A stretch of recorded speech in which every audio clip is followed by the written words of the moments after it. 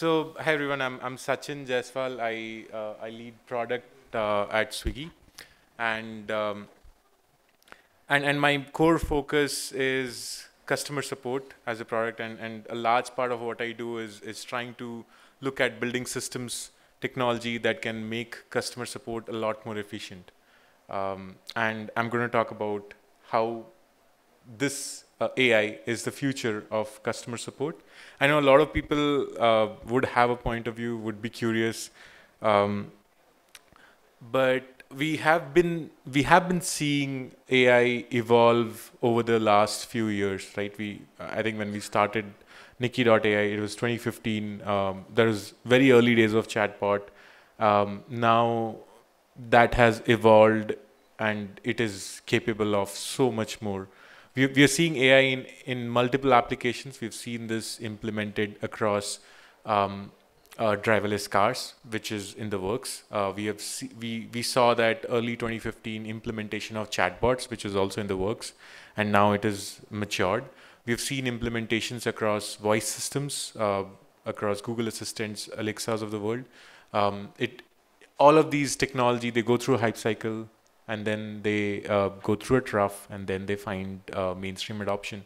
And I think uh, we are at the crux uh, where we are going to see uh, mass scale adoption of AI. We are already seeing that with uh, with ChatGPT, um, and which is which is my next point. I, I, would love to see a show of hands of people who believe that ChatGPT is going to completely replace customer support. Okay, we have a few. We have a few believers. Um, who all think that ChatGPT is not going to uh, make a dent to customer support at all?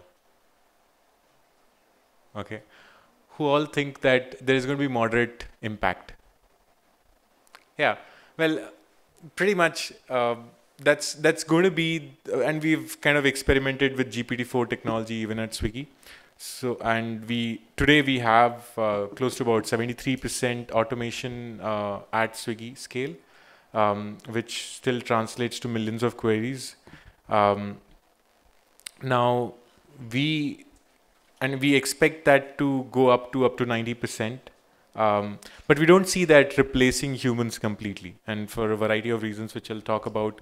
Um, so, what we are seeing with large language models today is uh, we are largely seeing the ability to understand language um, and because it has access to information, digital information across the web, it is able to answer that those questions in a very sophisticated way, which makes them feel like human. Uh, but at the end of the day, it's still a stochastic parrot. It's just repeating uh, and then regurgitating, and then uh, you know, when a question is asked, it tries to predict what the best answer for that question can be, what the next word can be, what the next word can be, and, and which is why I said it's a stochastic parrot all it is doing is it's it's just trying to vomit whatever it has read from the internet.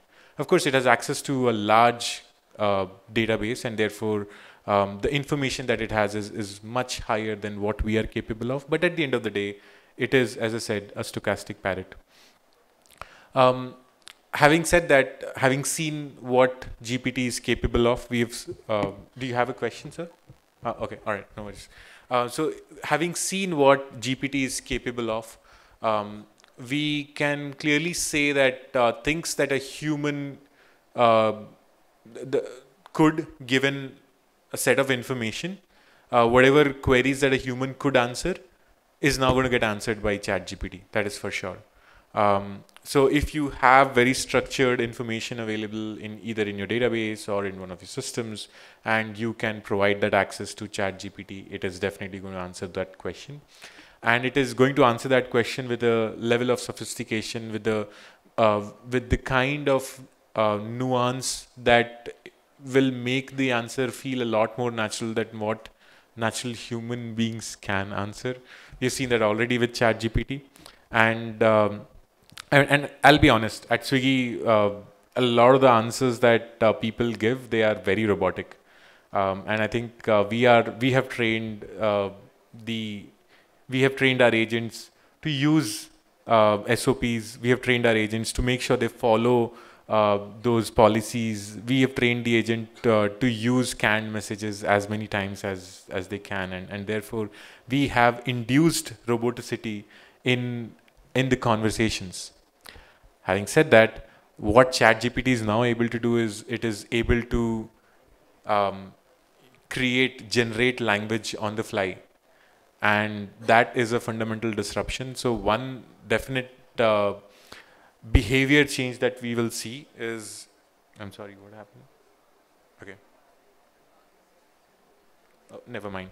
So one one behavior change, yeah. So one behavior change that uh, we will see is Chat GPT is is going to answer very straightforward questions um, and it, it, with, a, with a much higher sophistication than what human agents can. Um, but there are a lot of issues that need human interventions. For example, even at Swiggy, if a driver is moving in the wrong direction, it actually needs issue resolution where someone has to go figure out uh, if the driver is moving in the wrong direction, actually look at the data and confirm that. Um, then at the next step, someone has to call the driver, figure out why is he moving in the wrong direction and do problem solving there. And then in, even if uh, the, and then the agent has to take a call as to whether or not assign a new driver to that uh, particular food uh, order. Um, all of this requires human intervention at this stage. Okay.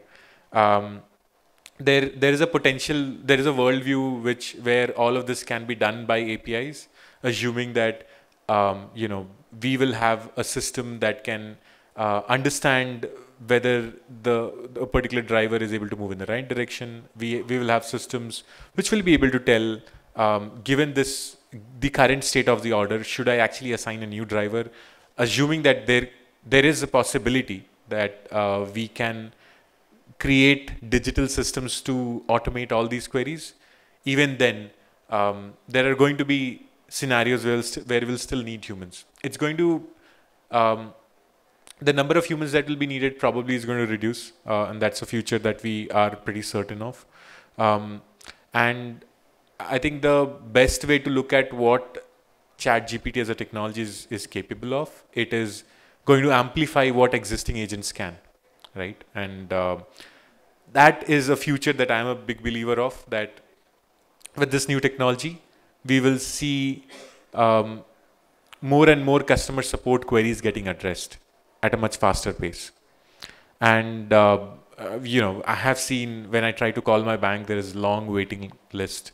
Um, th- there's a long queue. I have to wait for five minutes, 20 minutes, and that is a future that I'm not very excited about. So, given the increase in productivity, what we've seen, um, we would like to augment this customer support with technology. And, and that's the power that ChatGPT can unlock very very well.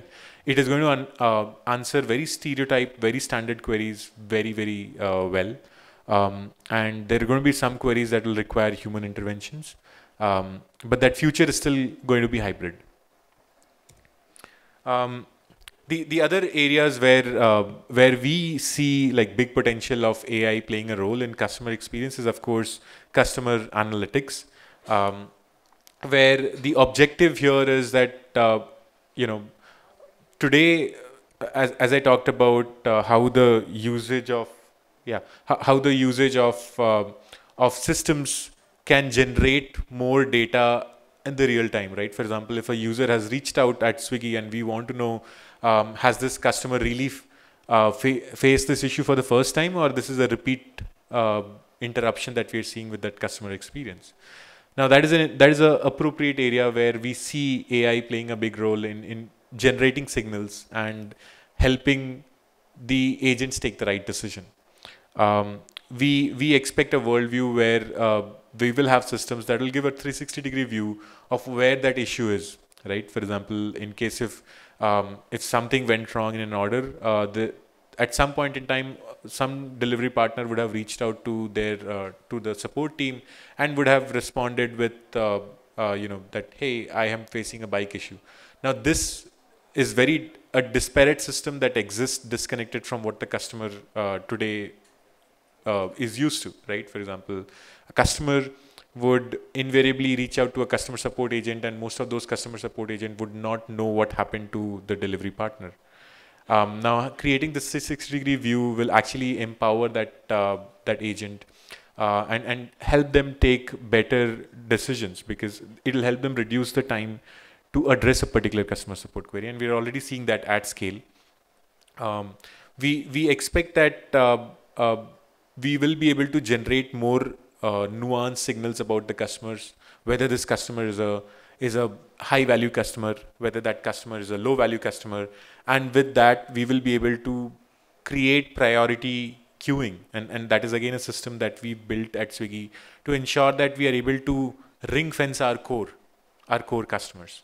So uh, the the future of what uh, of, of the future of CX is is going to be a mix uh, of human and AI. I'll repeat what I said, uh, and AI is going to augment the quality of redressal that we are able to give to uh, to to our good customers, and and I think uh, th- there is also a, a, new level of sophistication that we are seeing with Chat GPT type tools, where they're able to understand different kinds of queries with diff- in different languages.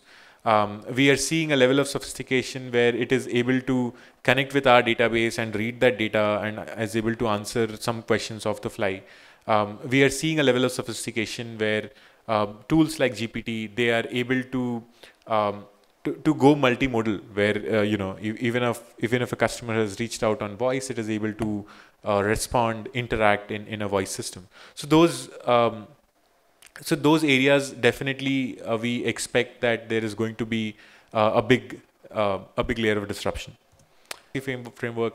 I think simple queries are going to get automated first um, and issues that require resolution there it will require uh, digitization of our systems so the degree of digitization is is going to um, is going to uh, is going to determine what is the degree of automation for example um, for someone like Swiggy, a lot of their processes are digital. Um, they would have an API to answer every question about their customer. So there, the degree of uh, automation is probably going to be 90% versus I would expect something like a, a, a new D2C brand or a bank would probably not have as many as much digitization. So there, the the the automation percentage of resolutions are going to be lower because simply because they don't have the digital signal. Uh, if they do, the probability of automation is going to be higher. And then there are complaints. Some of these areas where you want uh, a human touch, um, those are the areas where you want um, technology uh, to to take a backseat, and you want humans to be at the forefront because you want to give a a, a good quality of interaction to uh, to to these uh, to, to your customers.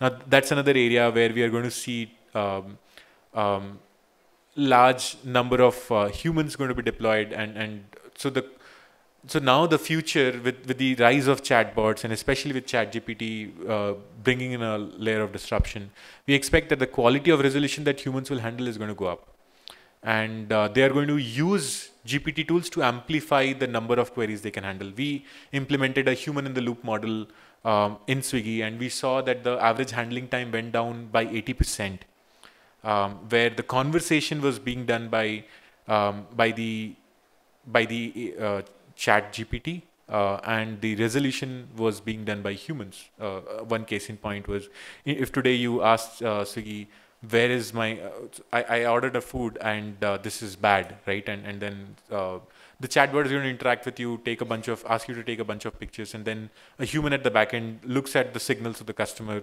looks at the photo, looks at the conversation, and and then decides what is a resolution to give. That is where they're going to be a human in the loop. That is that'll help. Um, that'll help uh, answer a bunch of questions, take decisions, um, but uh, still we will see that uh, a lot of these conversations are going to get automated by uh, by tools like GPT.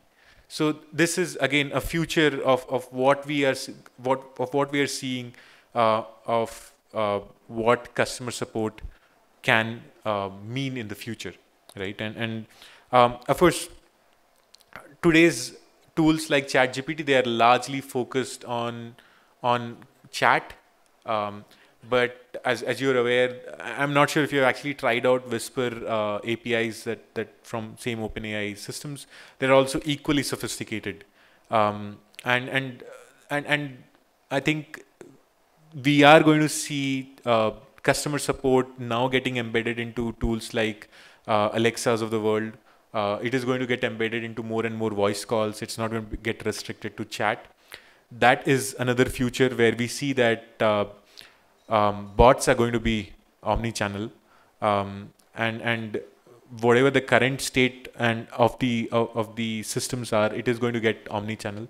Um, we are also seeing that uh, today the the tools that we are using they are not very inexpensive. Uh, in fact, uh, you know, if, if at Swiggy, if the average cost of issue resolution is approximately 32 rupees per ticket, um, we expect the the cost of resolution with the uh, with this bot to be approximately 40 rupees. But uh, of course, that is a point in time problem. We expect this to go down to 4 rupees, if not less.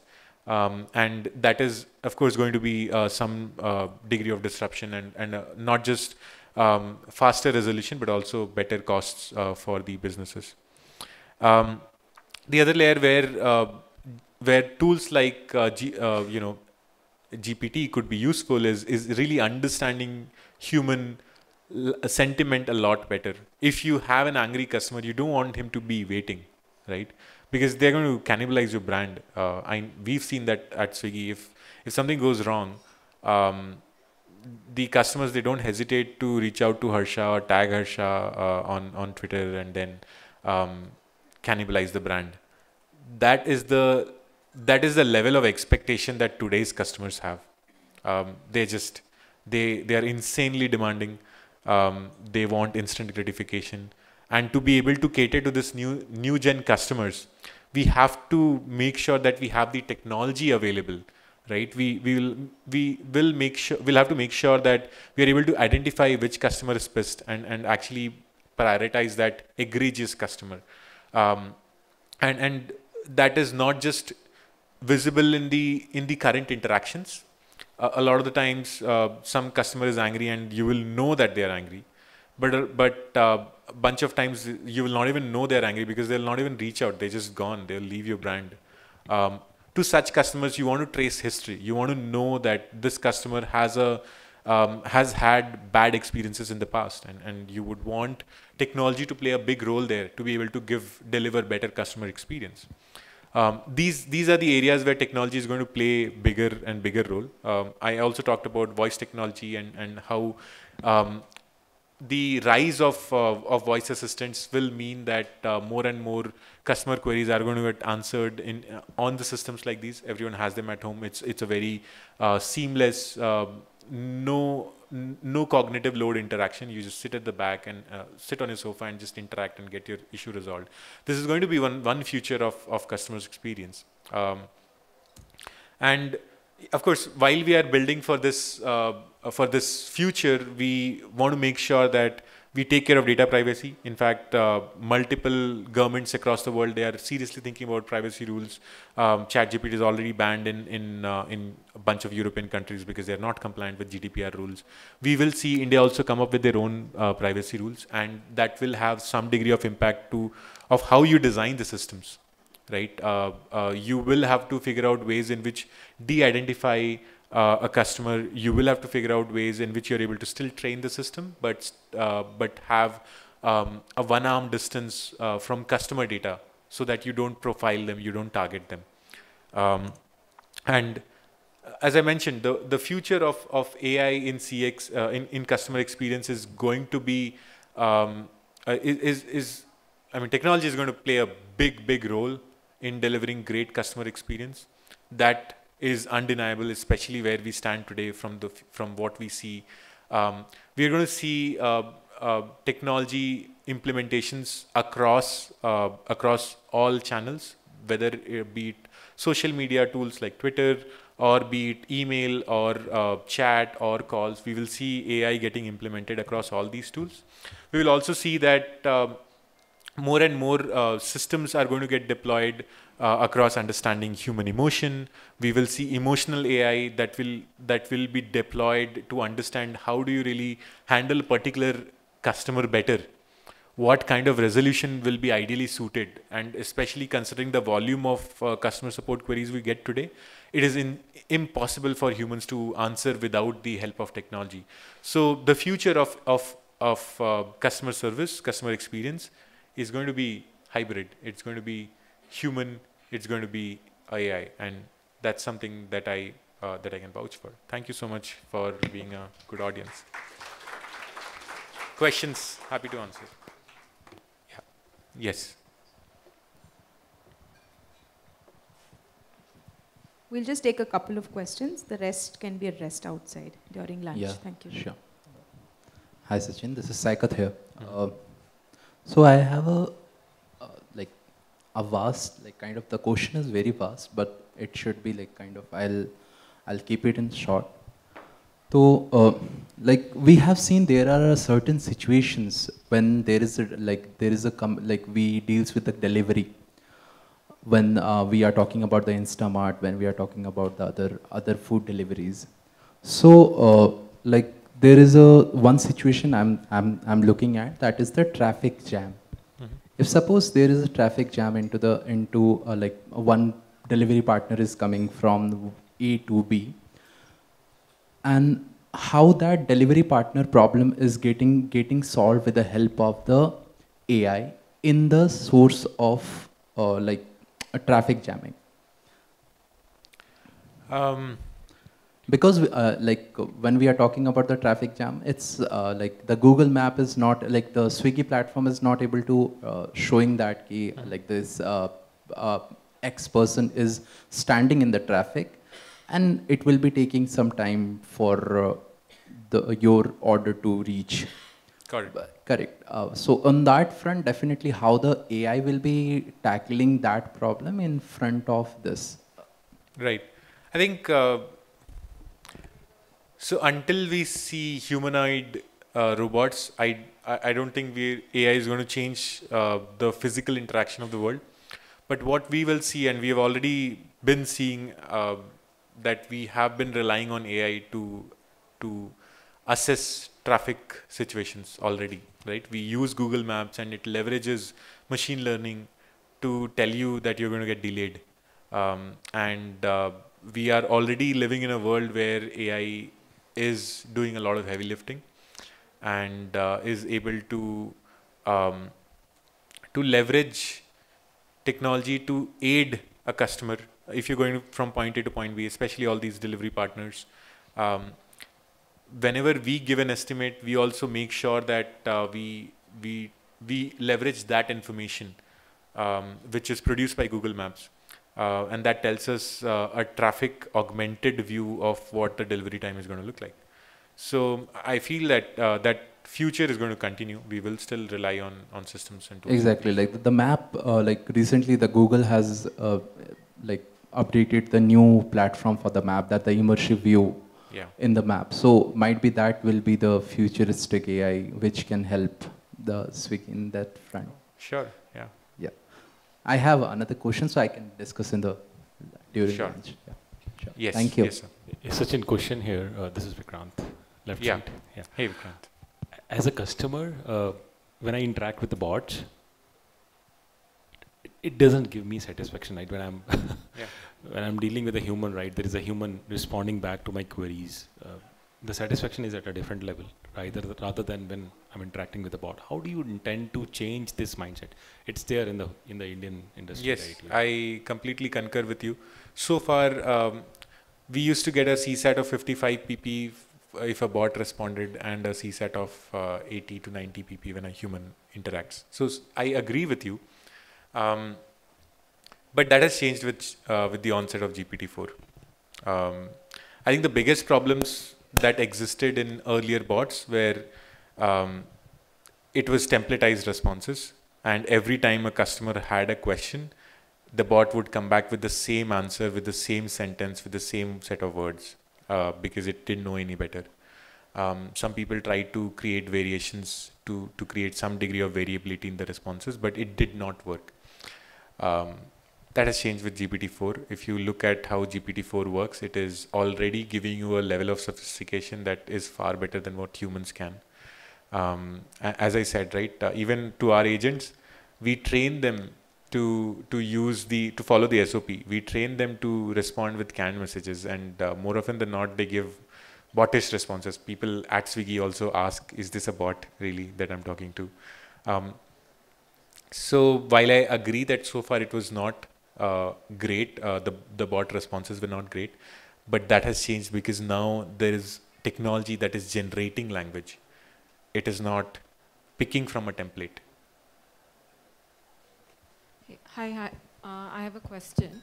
Um, so, even today, there's a lot of automation that happens on the consumer-facing side of the support ecosystem, right? You said Swiggy's already at 73%, which means what's left is really difficult things to address from an agent uh, support point of view. So, how do you see AI or technology playing a role on uh, helping agents deliver great quality support, right? Uh, because a lot of things are subjective, they're following SOPs, you're saying they're robotic. So what is your view on that? And do you think that in the ideal world, in some time, a lot of the innovation will happen on the agent ecosystem because the consumer side will be sort of fairly um, thought through? Yeah, I think that's a great question. Um, so I kind of agree with what you're saying that uh, automation has happened already to a large degree in the consumer uh, ecosystem. Um, I think there are two two additions, two addendums to it. One is now that tech, now by the onset of GPT, um, bot flow building is becoming DIY. So now it's not just big companies like Swiggy that will be able to deploy it at scale, but uh, even a, a small, medium-sized business or even traditional archaic banks, they're going to deploy um, much better, much more sophisticated bots at scale. That's point number one. Point number two, um, we will see that the complexity of the query that this bot, that GPT-4 bots can handle, is going to be far higher than what um, queries so far the existing bots could handle. Which means that uh, uh, when I said that 73% is going to go to 90%, this is one of the big reason because now it can understand language, very very complex queries it can understand. Um, thirdly, to to your point, right, that it is now technology is going to augment what humans can do, and I believe there is a future where uh, humans or the agents will send prompts, and uh, uh, you know, for example, if if a customer is egregious and asking for a refund, um, the agent at the back end is going to uh, decide whether or not he, he he's just going to play um, in in a so his role is, is going to be less about the monotonic robotic work, but his role is going to be more towards more focused on um, on doing high quality work, which means that they will just focus on deciding, um, uh, you know, in this scenario I should give this resolution, and once they decide, they're just going to send a prompt to the bot, um, refunded, refunded 20%, and then the bot is going to uh, create a good quality response and interact with the customer and, and get done with it. So the future is going to be increasingly about humans in the loop. Um, and like I said, right, even at Swiggy, when we implemented that, it meant 80% AHT reduction, which was a significant gain for Swiggy at scale.